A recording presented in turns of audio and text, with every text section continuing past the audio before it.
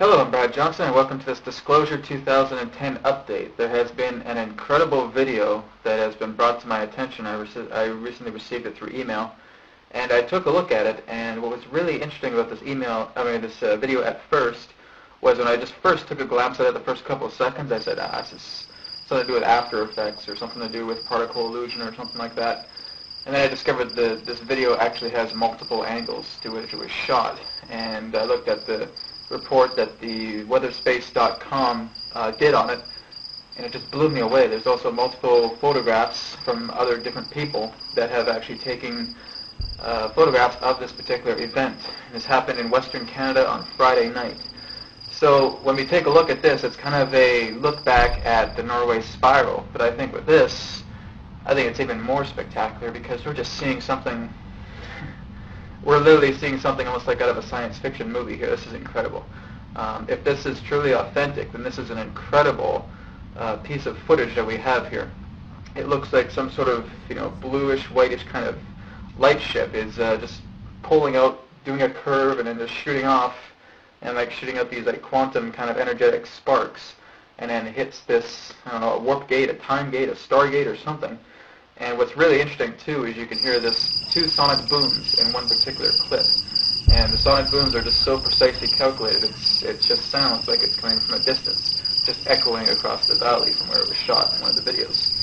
This is incredible. If this is truly authentic, if this truly is something uh, that truly happened Friday night in Western Canada, wow.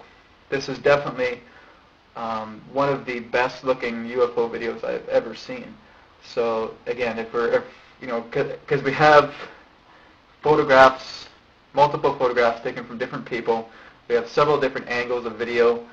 Uh, the weatherspace.com said that if there was anybody else that had any uh, video shot or photo shot of this event Friday night, to submit it to them. I'd like to know where about in Western Canada this was.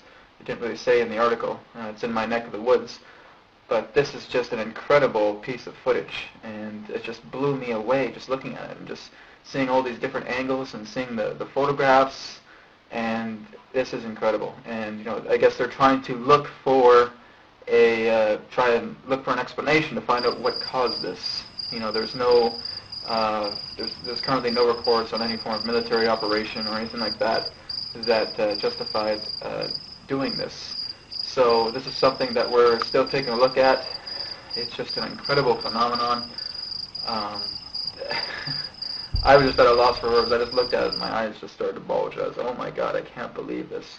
This is incredible. So if this is truly the real deal, if this truly is an authentic uh, bit of footage caught from all these different angles, uh, with all these different photographs from different people, incredible. Probably the best form of UFO uh, footage that we have ever seen. So I will keep you up to date on this story as it develops. If there is more videos that come on in, regards to this event, if there's more photos that come together in regards to this event, I'll definitely post it up on disclosure2009.blogspot.com. Thank you very much for watching. Stay tuned.